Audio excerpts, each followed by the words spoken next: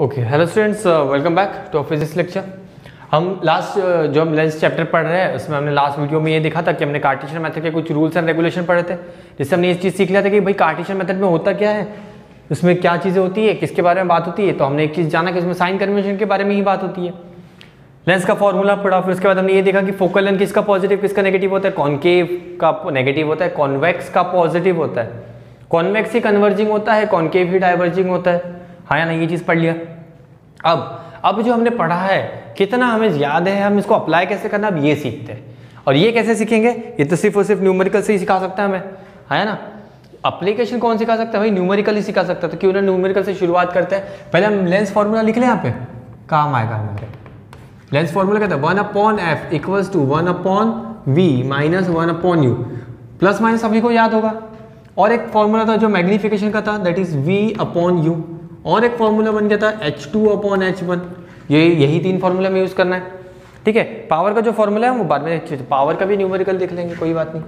Power equal to one upon F होता है, पर एक चीज़ सर बताए थे एफ़ तो है मीटर में होना चाहिए सर अगर मीटर में नहीं रहेगा तो पावर डायप्टर में नहीं आएगा। अगर एफ़ मीटर में नहीं रहेगा तो पावर डायप्टर में नहीं आएगा। चलो, ठीक है। अब ये तो हो गया, चलो, तैयारी हो गई इंग्रेडिएंट्स तैयार हो गए, चलो हम बनाते हैं। न्यूमेरिकल बनाते हैं। तो सबसे पहला न्यूमेरिकल हम बनाते हैं। क्वेश्चन देखते हैं, क्या है। एक चीज़ हमें याद रखना है कि लेंस मिरर के जब भी हम न्यूमेरिकल बनाते हैं, चलो मिरर तो अपने प्रीवियस क्लासेस में पढ़ लिया प्रीवियस स्टैंडर्ड में हमने मिरर कंप्लीट कर लिया, इस क्लास में हम लेंस पढ़ने वाले हैं। तो जो लेंस पढ़ते हैं लेंस के जितने भी न्यूमेरिकल होते हैं, उसके लिए आपको डायग्रामेटिकल रिप्रेजेंटेशन करना ज़रूरी है। इसलिए ज़रूरी है क्योंकि आपका न्यूमेरिकल आसान हो जाता है। अब देखो कैसे आसान होता है, हम बता रहे हैं।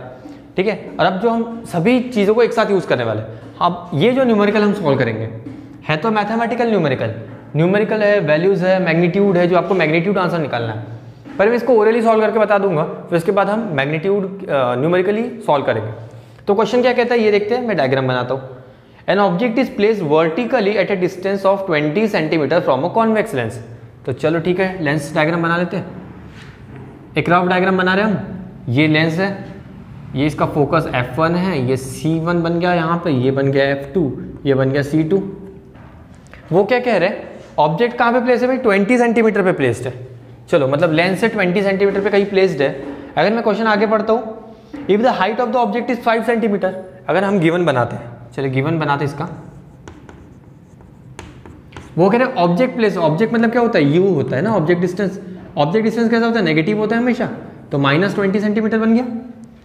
उसके बाद वो क्या कह रहे हैं? Height of object height of object denote करते हैं हम एच वन से। हाँ है ना? फाइव सेंटीमीटर हाइट कैसा होता है प्रिंसिपल एक्सिस के ऊपर तो ये कैसा रहेगा? पॉजिटिव रहेगा। है ना? ये पॉजिटिव रहेगा। अगर साइन सिंबल नहीं है मतलब पॉजिटिव है। इसके बाद क्या करें? And the focal length of a lens is ten centimetre focal length दे दिया इन्होंने। फोकल लेंथ कितना दिया? टेन सेंटीमीटर दिया है। कॉन्वेक्स है तो फोकल लेंथ कैसा रहेगा? पॉजिटिव रहेगा नो डाउट तो बताइए कि इमेज का पोजीशन क्या रहेगा? To find image position image का पोजीशन जब बात करते हैं तो मतलब इसका मतलब क्या होता है कि इमेज कितने दूर प्लेस्ड है? वी इमेज का हाइट हमें बताना है मतलब एच टू हमें बताना है। और उसके बाद इसका नेचर बताना है कि किस तरीके से इसका नेचर रहेगा। ये सारी चीज़ें बतानी है। अब मैं इसे बिना सॉल्व के आंसर बता सकता हूँ। कैसे? ऐसा नहीं कि हमने लर्न कर लिया है। हम लॉजिक लगा रहे हैं, ठीक है? लर्न नहीं किया है। क्या कह रहे हैं? फोकल लेंथ टेन सेंटीमीटर है। चलो बना दिया हमने टेन सेंटीमीटर एक चीज़ हमने पढ़ी है कि ऑप्टिकल सेंटर से जो डिस्टेंस फोकल लेंथ का होता है, वही डिस्टेंस कर्वेचर का होता है फ्रॉम द फोकल मतलब ये भी टेन हो गया हो। हाँ ना? सेम डिस्टेंस अब क्या कह रहे हैं? ऑब्जेक्ट 20 सेंटीमीटर पे। ऑब्जेक्ट का सेंटर कैलकुलेशन कहाँ से होगा? ऑप्टिकल सेंटर से ही होगा ना। तो 20 सेंटीमीटर मतलब 10 और 10 20 सेंटीमीटर मतलब ऑब्जेक्ट का प्लेस है? ऑब्जेक्ट सेंटर ऑफ़ कर्वेचर पे प्लेस्ड है। लेंस कैसा है? कॉन्वेक्स है। एक चीज़ तो यही कंफर्म हो गई कि सर ऑब्जेक्ट जब सेंटर ऑफ़ कर्वेचर पे होता है तो सर इमेज भी तो सेंटर ऑफ़ कर्वेचर पे ही बनती है। हमने जब रे डायग्राम बनाए थे सर उसमें एक चीज़ हमने देखा था। हमने नोटिस किया था कि इमेज भी कहाँ बनेगा? इमेज भी कहाँ बनता है? सेंटर ऑफ़ कर्वेचर पे ही बनेगा। कहाँ बनेगा? राइट हैंड साइड में बनेगा। मतलब अगर हम बात करते हैं वी की तो मैं वी ऐसे ही बता सकता हूँ दैट इज़ ट्वेंटी सेंटीमीटर जितना दूर ऑब्जेक्ट है, क्योंकि सेंटर ऑफ़ कर्वेचर पे जब ऑब्जेक्ट होता है तो इमेज भी सेंटर ऑफ़ कर्वेचर पे ही बनती है। और फोकस तो बता दिया टेन है तो ये भी टेन रहेगा, ये भी टेन रहेगा तो इमेज कितना रहेगा? ट्वेंटी रहेगा। नेगेटिव पॉजिटिव पॉजिटिव रहेगा क्योंकि राइट हैंड साइड में है सर बन गया। सर इसकी हाइट कितनी रहेगी? जो ऑब्जेक्ट की हाइट है, वही इमेज की हाइट रहेगी। ऐसा क्यों? बिकॉज़ ऑब्जेक्ट का जो हाइट होता है H one when place at centre of curvature वो सेम साइज़ का इमेज बनता है at the same centre of curvature that is H two याद आ रहा है, आपने रे डायग्राम जब बनाया था तो उसमें जो कंक्लूड किया था, जो आखिरी में हमने चार्ट बनाया था, जिसमें हमने different position of object position of image और उसके नेचर के बारे में लिखा था तो ये ये जो पॉइंट आपने कवर किया था object place position at centre of curvature image form at centre of curvature उसके बाद नेचर रियल एंड इन्वर्टेड देखो रियल एंड इन्वर्टेड उसके बाद size same size as the object यही बनाया था? मतलब आंसर बन चुका है यहाँ पे। तो अगर मैं कहूँ कि आंसर कितना रहेगा? एच टू कितना रहेगा? H two will be sir five centimetre that will be minus क्योंकि माइनस फाइव सेंटीमीटर होना चाहिए, क्योंकि प्रिंसिपल एक्सिस के नीचे इमेज का डिस्टेंस कितना होगा सर सर ट्वेंटी सेंटीमीटर होगा क्योंकि सेंटर ऑफ़ कर्वेचर पे। मतलब देखो, मैंने न्यूमेरिकल अभी तक लिखा भी नहीं, पर सॉल्व हो चुका है। मतलब मुझे अभी पहले आ चुका है तो इसके लिए पहले क्या होता है कंसेप्ट डेवलप्ड होना चाहिए ना।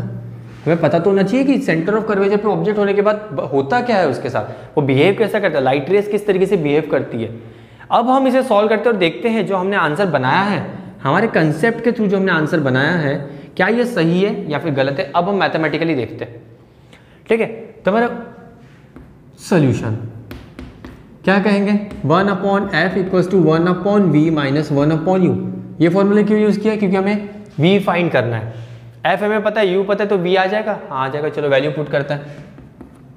वन अपॉन एफ़ एफ़ कितना है? टेन सेंटीमीटर पॉजिटिव है नेगेटिव सर पॉजिटिव रहेगा क्योंकि कॉन्वेक्स लेंस है। कॉन्वेक्स लेंस मतलब converging lens one upon ten V हमें फाइंड करना है तो वी एज इट इज़ रख देंगे sir one upon V minus one upon U U कितना है? ट्वेंटी है। कैसा है? नेगेटिव है सर नेगेटिव है, क्योंकि U is on the left hand side तो ये बन जाएगा माइनस ट्वेंटी एक चीज़ हमें ध्यान रखना है, यहाँ पे देखिए इंपॉर्टेंट स्टेप बच्चे यहाँ पे कंफ्यूज हो जाते हैं, सर, यहाँ पे नेगेटिव है तो यहाँ पे भी नेगेटिव लेना ज़रूरी है? हाँ लेना ज़रूरी है, क्योंकि ये जो सेंटर में नेगेटिव है, ये तो फॉर्मूले से बना हुआ है ना, वो तो फॉर्मूले का इनबिल्ड है.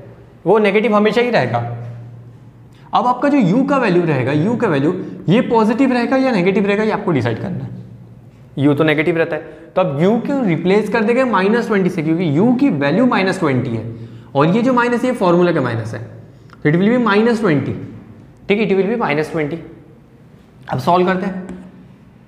One upon ten equals to one upon V minus minus ये प्लस हो जाएगा माइनस माइनस प्लस हो जाएगा तो वन अपॉन ट्वेंटी बन जाएगा। इस वन अपॉन ट्वेंटी को शिफ्ट कर दू तो क्या बन जाएगा? One upon V equals to one upon ten positive ये वन अपॉन ट्वेंटी प्लस है। इस तरफ़ जाएगा तो नेगेटिव हो जाएगा that is one upon twenty हो जाएगा। तो v one upon V equals to LCM कितना था ट्वेंटी आएगा। टेन और ट्वेंटी का एलसीएम ट्वेंटी आएगा। ये बन जाएगा टू ये बन जाएगा वन है ना? सॉल्व करते हैं one upon V equal to minus one one one upon twenty inverse कर देंगे, क्योंकि हमें वी की वैल्यू चाहिए तो वी बन जाएगा V equal to twenty centimetre यही आंसर हमने प्रिडिक्ट किया था। आंसर देखिए ट्वेंटी ट्वेंटी। पॉजिटिव है, साइन कन्वेंशन भी एकदम परफेक्ट आया।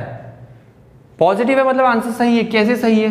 अब मैंने कैसे चेक कर लिया? क्योंकि वी जो होता है कॉन्वेक्स में वी हमेशा राइट साइड में सॉरी जो इमेज होता है वो हमेशा राइट साइड में बनता है, एक केस छोड़ के, ठीक है? एक केस छोड़ के, पर वो एक केस तो है नहीं। तो मतलब वी पॉजिटिव आना चाहिए था, जो पॉजिटिव आया तो एकदम परफेक्ट मैं यहीं पे बता सकता हूँ हाँ मेरे डेढ़ मार्क तो पक्के हो गए। अगर तीन मार्क का न्यूमेरिकल है, आधा न्यूमेरिकल बन गया, डेढ़ मार्क पक्के हो गए गारंटी एच टू फाइंड करने? अरे एच टू फाइंड तो ऐसे ही हो सकता है, सर। बहुत आसान है। अब यहाँ पे हमारे पास एच टू फाइंड करने के दो फॉर्मूले अब M equals to H two upon H one कीजिए, या फिर M equals to V upon V upon U कीजिए। अब ये देखिए, क्या हम क्या कह रहे हैं? पहले समझ लेते हैं। हमारे पास दो फॉर्मूला थे, क्या है? M equals to V upon U ये पहला फॉर्मूला था, दूसरा फॉर्मूला था M equals to H two upon H one हमें फाइंड क्या करना है? एच टू फाइंड करना है। हमारे पास एच वन है? हाँ है, सर। एच वन है। यहाँ पे ध्यान दीजिए। एच वन है एच टू में फाइंड करना है एम नहीं है तो आप क्या कर सकते हो? पर हमारे वी है यू भी है। तो ये फॉर्मूला यूज़ करके पहले एम फाइंड कीजिए, फिर एम की वैल्यू यहाँ पे पुट कीजिए, फिर इसे सॉल्व कीजिए। ऐसा कर सकते हैं? क्या कह रहे हैं फिर से सुनो। फ़र्स्ट स्टेप जो इस यहाँ पे जो इमेज का हाइट है, जो फाइंड करने का पहला तरीका क्या है? टू डिफरेंट वेज है। पहला तरीका, v और u हमें पता है, v हमने फाइंड कर लिया, u हमें पता है।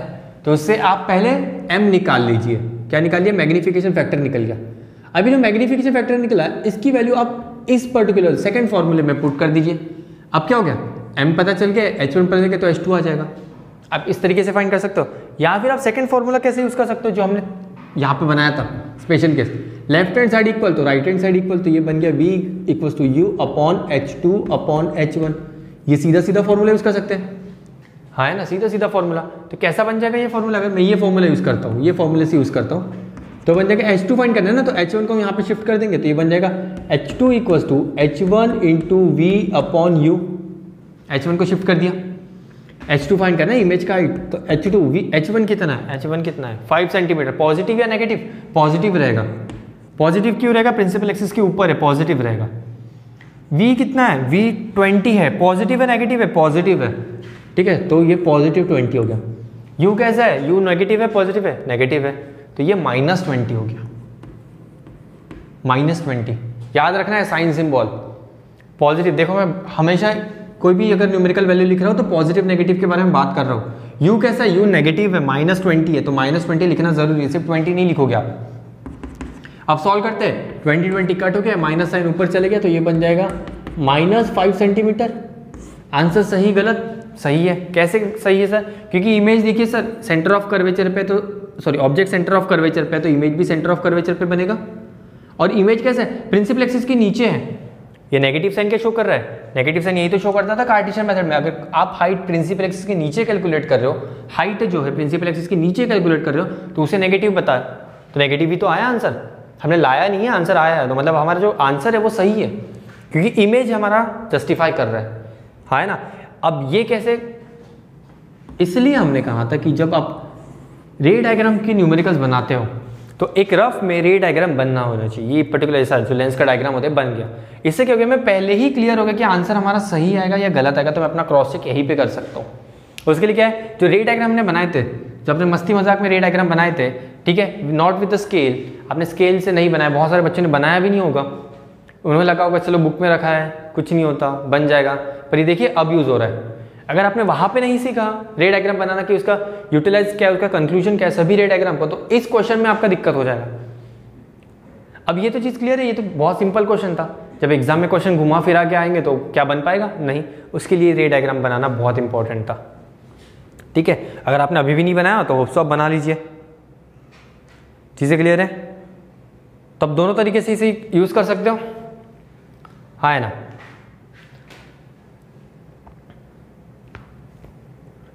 चीज़ें क्लियर है यहाँ तक? ओके अगर हम बात करते हैं, चलो, इसी लेंस का हम अगर फोकल लेंथ के बारे में बात करते हैं। फोकल लेंथ अब पूछा तो नहीं है, पर हम बता देते यही कैलकुलेट करते हैं कि इसका सॉरी फोकल लेंथ नहीं, इसका पावर कैलकुलेट कीजिए। इसी क्वेश्चन में अगर हमने ऐड कर दिया पावर कैलकुलेट कर लीजिए। इसका पावर कैलकुलेट करना है। पावर का फॉर्मूला हमने क्या पढ़ा था? सभी को पता है। लर्न हो गया होगा। Power equals to one upon F है ना? तो क्वेश्चन क्या होगा? वन अपॉन एफ़ कितना है? एफ़ है टेन सेंटीमीटर तो टेन लिख दिया हमने। सही होगा? गलत होगा? गलत होगा। क्यों गलत होगा? क्योंकि सर एक चीज़ है। एफ़ कैसा होना चाहिए सर एफ़ मीटर में होना चाहिए। और ये एफ़ कैसा गिवन है सर टेन सेंटीमीटर में गिवन है। तो ये तो वैलिड ही नहीं है। सर आंसर गलत हो जाएगा हमारा। तो हम क्या करेंगे सबसे पहले? पहले फोकल को फोकस को फोकल लेंथ को हम मीटर में कन्वर्ट करेंगे। टेन सेंटीमीटर को मीटर में कन्वर्ट करना है। कितना सेंटीमीटर में वन मीटर होता है? हंड्रेड डिवाइड बाई हंड्रेड कर दिए। तो कितना बन जाएगा? Zero point zero sorry zero point one zero point one metre बन गया। ज़ीरो पॉइंट वन मीटर चीज़ें क्लियर है? अब ज़ीरो पॉइंट वन है तो अब हम लिख सकते हैं one upon focal length zero point one क्योंकि फोकल लेंथ कैसा होना चाहिए? मीटर में होना चाहिए। अभी सब जब डिवाइड करोगे तो क्या आएगा? टेन टेन ही आता है? आया ना? आया ना? टेन ही आएगा ऑफकोर्स टेन टेन डी क्या बनेगा? टेन डी है ना? टेन डी बन जाएगा? चीज़ें क्लियर है? समझ में आ गया? तो पावर कैसे कैलकुलेट करते हैं? यहाँ पे देखो सेंटीमीटर गिवन थी। पर आप सेंटीमीटर यूज़ नहीं किया हमने। क्या किया? हमने उसको पहले मीटर में कन्वर्ट किया। क्यों? क्योंकि फॉर्मूला कहता है power equals to one upon F but F should be in metre F should be in metre अगर ये मीटर में नहीं होगा तो आपका क्वेश्चन नहीं बनेगा। ये चीज़ें क्लियर है? हाँ है ना? इसी पे कुछ न्यूमेरिकल है। और एक न्यूमेरिकल हम देखते हैं इस पे। इस पे और एक न्यूमेरिकल बनाते हैं।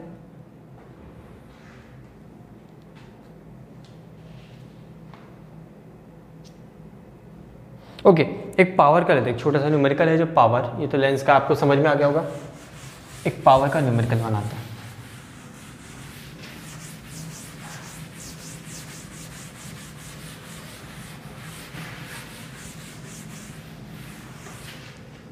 पावर के न्यूमेरिकल पढ़ने से पहले हम थोड़ा याद कर लेते पावर में क्या पढ़ा था? पावर का अगर कंबाइंड फॉर्म कंबाइंड निकालना तो क्या करो? P1 one plus P two plus P three उसे ऐड कर दो, सीधा बन जाएगा। यही था पावर अब उन्होंने एक क्वेश्चन बनाया, एक छोटा सा क्वेश्चन है। क्वेश्चन में क्या कहा है? Three lens having power two एक थ्री लेंस थ्री तीन लेंस है। इनका पावर है पहले पहले लेंस का power two D second lens का power two point five D और थर्ड लेंस का पावर है वन पॉइंट सेवन डी ठीक है? और उन्होंने क्या पूछा हमसे? आर कैप्टी ना रो। कैसा लिखा भाई? रो में रखे अच्छा। मतलब कुछ अगर मान लेते हैं पॉजिटिव पावर है तो कुछ इस तरीके से होगा? ये फ़र्स्ट लेंस ये सेकेंड लेंस ये थर्ड लेंस कुछ इस तरीके से प्रिंसिपल लेंस ऐसा कुछ रो में रखे हुए हैं। ठीक है? क्या कह रहे what is the total power of the length combination combination पूछा मतलब ये जो टोटल पावर है, इसका कॉम्बिनेशन पूछा simple formula total power equals to P one plus P two plus P three क्या बन जाएगा? That is two plus two point five plus one point seven कितना बन जाएगा? ये seven twelve two one carry two two two six thirty six point two D तो combined power क्या हो गया? सिक्स पॉइंट टू डी बहुत ही आसान। हाँ ना कंबाइंड पावर पूछा था ना कंबाइंड पावर क्या होता है? P one plus P two plus P three सभी लेंस के पावर ऐड कर दीजिए। अगर इसी केस में अगर हम कहते हैं कि पावर नेगेटिव होता तो? ठीक है, अगर हम बात करते हैं कि जो फ़र्स्ट लेंस है, इसका हम कहते हैं, जो फ़र्स्ट लेंस है, इसका जो पावर है ना, वो माइनस टू डी है। तो कैसा बनता? फॉर्मूला सेम हो जाता, बस यहाँ पे माइनस लग जाता। और यहाँ पे अगर माइनस लग जाता तो कितना हो जाता? है फोर हो जाता। फोर पॉइंट टू हाँ है ना? फोर पॉइंट टू बन जाता? टू नहीं फोर पॉइंट टू नहीं बनता। ये क्या बन जाता? Minus two plus two